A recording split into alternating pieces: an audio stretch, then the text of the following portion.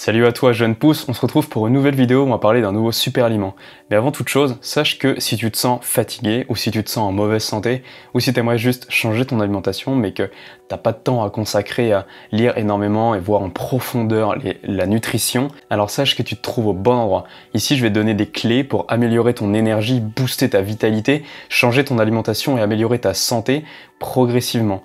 Tout ça en intégrant au quotidien des super aliments qui sont vraiment des bombes de minéraux et d'énergie pour ton corps. Aujourd'hui, on voit un nouveau super aliment ensemble et ce super aliment, c'est la fève de cacao. Tu vois, cette toute petite fève de cacao, en fait, elle vient d'un arbre qui s'appelle le cacaoyer. Et le cacaoyer, c'est un arbre issu du Mexique qui était cultivé par les Mayas et par les Aztèques. Donc tu vois, les Aztèques, on en a déjà parlé dans d'autres vidéos, notamment sur la graine de chia, où on a vu que les Aztèques avaient déjà tout compris aux super aliments et en fait ils consommaient énormément de super aliments. Ça devait certainement faire d'eux euh, des guerriers super puissants, des guerriers super balèzes. Cette petite fève de cacao, donc c'est pas du tout du chocolat, hein. c'est avec ça qu'on fait le chocolat et Là, par contre, il n'est pas du tout question de chocolat parce que si tu goûtes ça, tu vas trouver ça super amer. Il n'y a pas du tout de sucre dedans, contrairement au chocolat.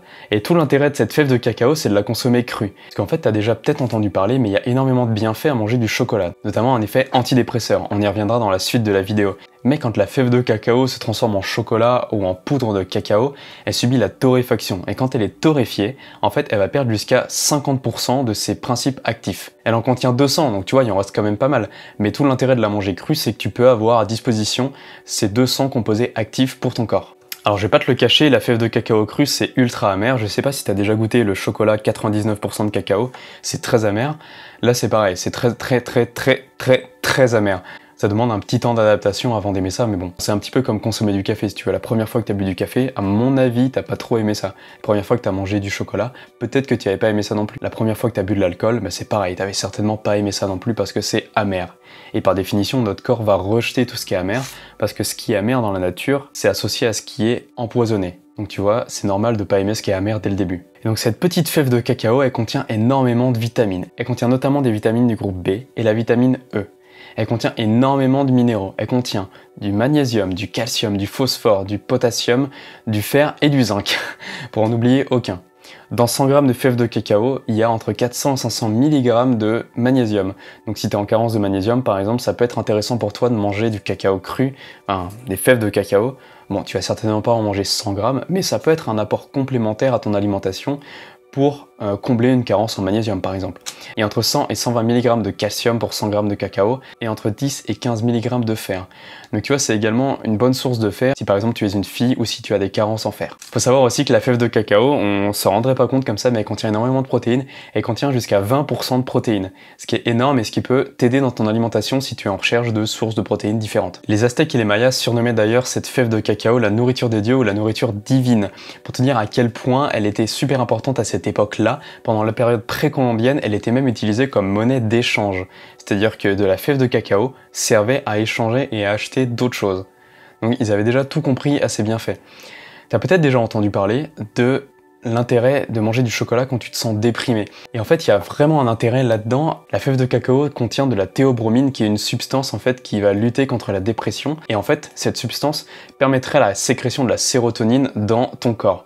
La sérotonine, c'est l'hormone du bonheur en fait. Si tu veux, c'est l'hormone qui te fait sentir bien, c'est l'hormone qui te fait se sentir en bonne santé, qui te fait sentir joyeux et heureux. Et du coup, manger des fèves de cacao, ça peut te faire sentir cet effet-là, cet effet de bonheur et de joie de vivre. De ce fait-là, la fève de cacao a un effet anti-stress et anti-fatigue sur ton corps. Elle a également un effet antioxydant parce qu'elle contient beaucoup de flavonoïdes qui sont des antioxydants qui vont aller combattre les radicaux libres dans ton corps et combattre le vieillissement de tes cellules. La fève de cacao c'est également un brûle-graisse, c'est énergisant, ça va booster ton système sanguin, ça va le fluidifier. Si tu as de la tension artérielle, ça va tendance à la diminuer et ça va te donner un boost sur ton système immunitaire.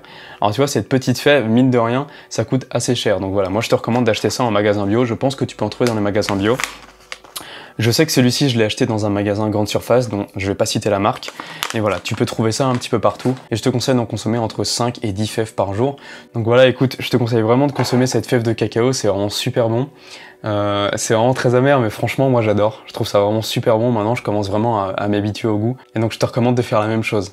Si tu veux rien rater des prochaines vidéos qui vont sortir sur cette chaîne, on va encore parler de super aliments. Je vais t'aider et je vais te donner des clés pour être en bonne santé et changer tes habitudes alimentaires et en intégrant des super aliments dans ton quotidien, dans ton alimentation. Alors clique sur le rectangle rouge en dessous de la vidéo. S'il te plaît, laisse un pouce en l'air si cette vidéo t'a plu, ça m'aide énormément et ça me ferait vraiment très plaisir. Si tu as des questions concernant la fève de cacao, tu peux les poster dans les commentaires et franchement je serais super content de répondre à tes questions. Je te laisse là, je te souhaite une bonne journée et surtout prends soin de ton alimentation, mange et vis en conscience, c'est le plus important. Ciao ciao